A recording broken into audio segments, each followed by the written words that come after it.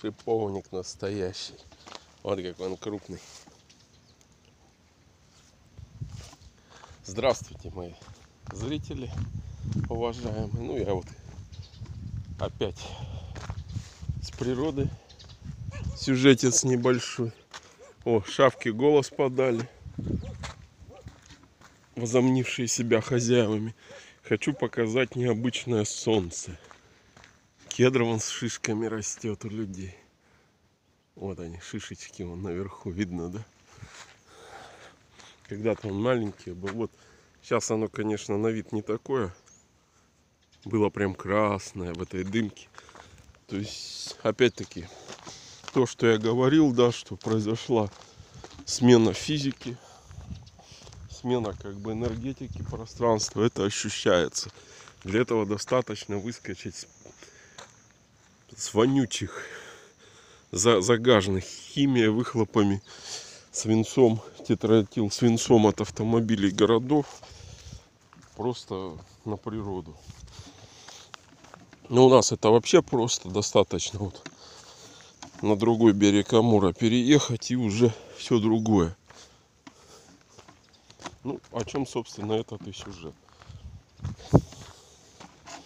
И это все ощущается в запахе прям, в ощущениях энергии, в ощущениях вот всего. При этом абсолютно не характерное лето, да, то есть сейчас вот август, сентябрьская погода стоит, при этом прохладно по утрам и вот эта вот дымка, которая прикрывает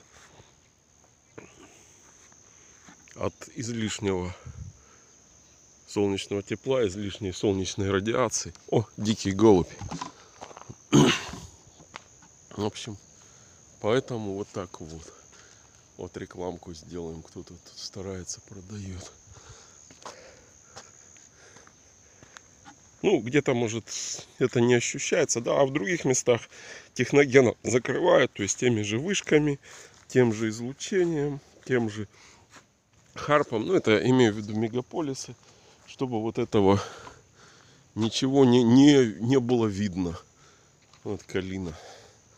Чтобы не происходило у людей открывание, да, и травят их всеми возможными ядами, начиная от фтора в зубной пасти, который закрывает шишковидку, кончая ГМО добавками и прочей херней, которая убивает просто генетику вообще на повал, ну и прививками и так далее.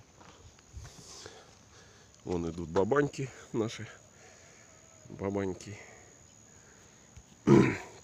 Вот такие вот дела, в общем. Смотрю, тут новая строй. А, трубу переварили, что ли. Вот такие вот происходят дела в мире, в общем, ребятки.